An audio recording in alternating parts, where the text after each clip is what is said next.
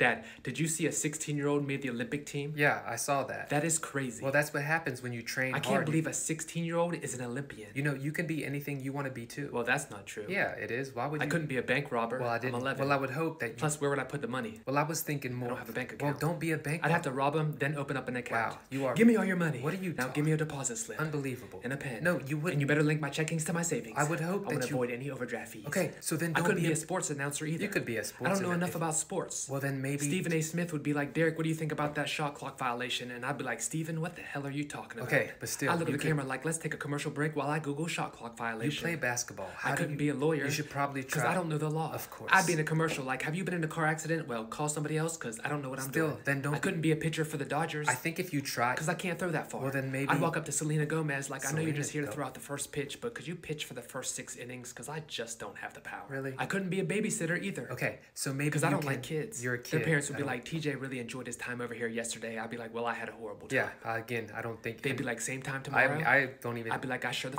f- hope not. I honestly don't and I couldn't be a teacher. I agree. I don't. I'm not smart enough. Wow. Really? I mean, I'd be like, Evan, what's the answer to the question I wrote on the board? He'd be like, I don't know. I'd be like, me either, Evan. Me either.